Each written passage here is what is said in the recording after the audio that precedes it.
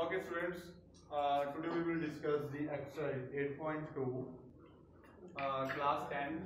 हमारे पास question number one है इसको करने के मेरे पास टू वे है जो मैं आपको पहले सिंपल वे बताने वाला हूँ ठीक है फॉर्मूला बाद में हम यूज़ कर सकते हैं साइन 60 इनमें कोई सिंपल नहीं है तो मल्टीप्लाई है कॉस 30 के साथ प्लस साइन 30 कॉस 60 इनमें सिंपल क्या है बेटे मल्टीप्लाई का सिंबल है।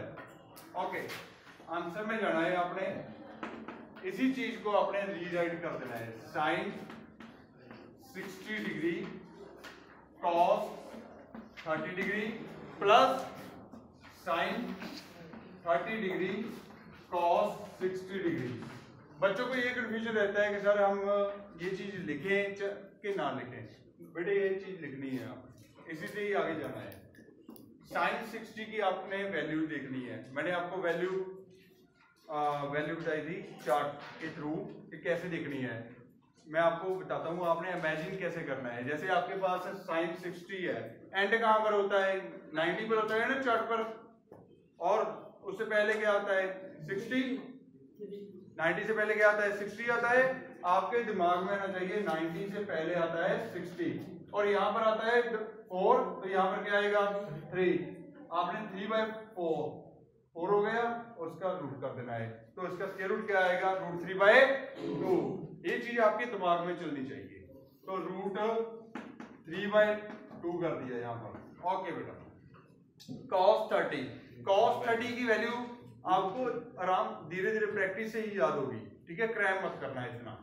वो भूल जाएगी।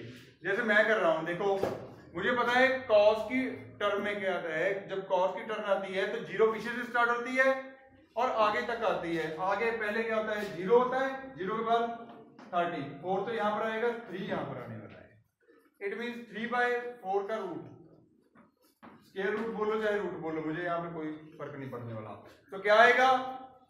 Root three by two. यहाँ पर भाई आपके पास आया root three by two.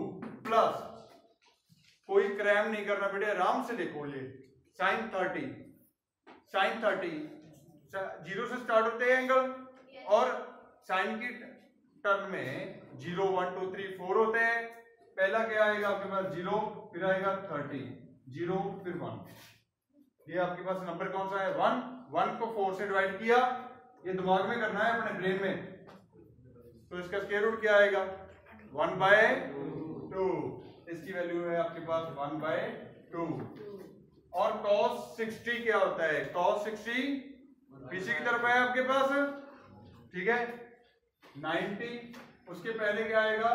60 ये आपके पास ज़ीरो है। ये वन है। वन को फोर से डिवाइड किया और रूट लिया।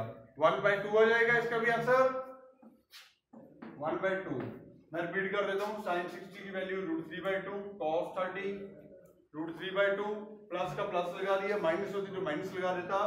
साइन थर्टी क्या होता है? One by two cos sixty क्या होता है? One by two okay root three को रूट थ्री के साथ मल्टीप्लाई किया। थ्री आया आपके पास। टू को टू के साथ मल्टीप्लाई किया।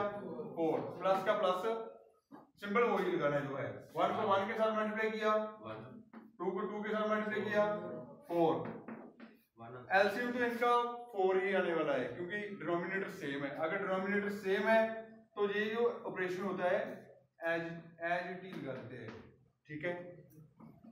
Three plus four three sorry three plus one four divide by four four को फोर के साथ डिवाइड किया वन आंसर आएगा। यहाँ तक कोई प्रॉब्लम नहीं होगी। अगर माइनस होता, हम माइनस लगा देते।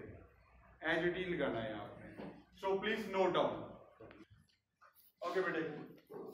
Now we will solve the second question of first part हमारे पास बेटे ये ट्रिग्नोमेट्रिक फ़ंक्शन है। मैंने वैल्यू सीखी है आज 1045 की वैल्यू सीखी है। स्केयर की तो सीखी नहीं है। ना, मैंने मैंने कॉस 30 की वैल्यू सीख ली है। ठीक है, मुझे आती है। स्केयर की नहीं आती। साइन स्केयर की वैल्यू कोई भी मैंने आपको टीच नहीं की आपको। तो करना क्या है आपको? मैं स्लाइड पर बता देता हूँ। अगर आपके पास साइन स्केयर थीटा है थीटा मीन्स कोई भी एंगल है। ये चीज़ है। तो आप इसको लिख सकते हो। साइन थीटा ये ये हो स्केयर लिख सकते हो ये स्केयर को आप होल स्केयर बना सकते हो। अगर आपके पास होल स्केयर है तो आप बीच में सेंटर में लगा सकते हो ये स्केयर का सिंबल ठीक है? जैसे आपके पास टेन थीटा की होल स्केयर है तो आप इसको सेंटर में भी लेकर जा सकते हो। टेन स्केयर थीटा समझाया बेटे यहाँ पर? ये सिर्फ़ साइन और टेन में ही नहीं होता। सिक्स के सिक्स ट्रिग्नोमेट्रिक फ़ंक्शंस में होता है। Sine cos tan cot secant को सीकन सभी में होता है। स्केयर सेंटर पर लगे तो ओवरऑल बार निकाल सकते हो ओवरऑल बार है तो सेंटर पर लगा सकते हो। एचडी में यहाँ पर करने वाला हूँ। आंसर में आपने पहले तो इसी को कॉपी पेस्ट कर लेना है, इसी स्टेटमेंट को। मैं यहाँ से स्टार्ट करने वाला हूँ। टू का टू लगा दिया। ये जो स्केयर है बाहर निकाल देते हैं। तो अंदर क्या आया? टेन फोर्टी फाइव आया। प्लस ये स्केयर भी बाहर निकाल दिया। तो क्या आया? कॉस थर्टी ये डिग्री अपने आप लिख लेना बेटे।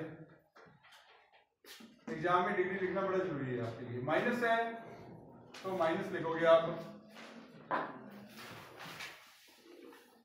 और ये इसका भी स्केयर बाहर निकाल दिया। आपके पास बचा क्या? साइन 60 डिग्री बचा। ओके, टू का टू आ गया। ये स्केयर एच डी आ गया। टेन फोर्टी फाइव क्या होता है? टेन फोर्टी फाइव वन होता है। तो वन लिख दिया यहाँ पर। प्लस इस ब्रैकेट का ओवरऑल स्केयर वैसे ही आएगा। Cos 30 क्या होता है? आप उसे रूट थ्री बाई टू बोलना। जल्दी बोला जाता है हमसे। Root three by two understand बेटे? माइनस ये भी उतने sine sixty root three by two root three by two root three by two आएगा। अच्छा ओवरऑल स्केयर ये रह गई थी हमारी। देखो बेटे ये number root three by two की whole square root three by two की होल स्केयर ये प्लस का ये? एक प्लस और एक माइनस कैंसिल हो जाते हैं ना?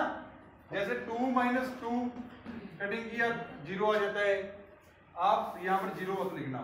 ये बस ऐसे कटिंग कर देना। कट हो गया। खत्म हो गया ये। Same number minus same number खत्म।